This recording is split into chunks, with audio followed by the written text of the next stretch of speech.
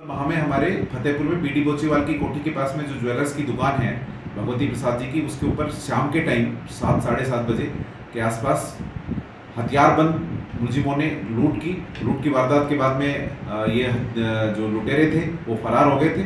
Police ने तत्काल कार्रवाई करते हुए उस टाइम में मुलजिमों को गिरफ़्तार करके जेल भेज दिया था। इसमें एक अनिल जाट नाम से मुलजिम जो गारिंडा का था, वो फरार था। जो फरार होने के बाद में दुबई चला गया था। जिसकी आज हमको सूचना मिली थी तो छतरिया बस स्टैंड फतेहपुर से हमने दबिश दे करके और हमने गिरफ़्तार कर लिया है।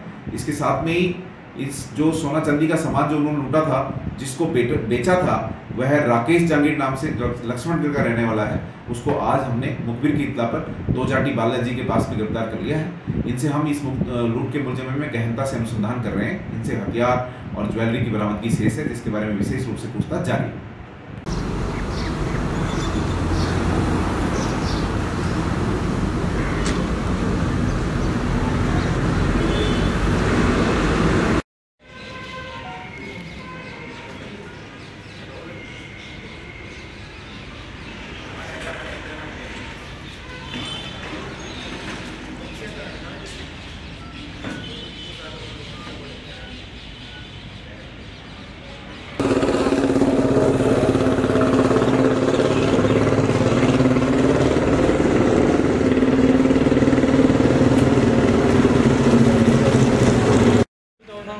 है ना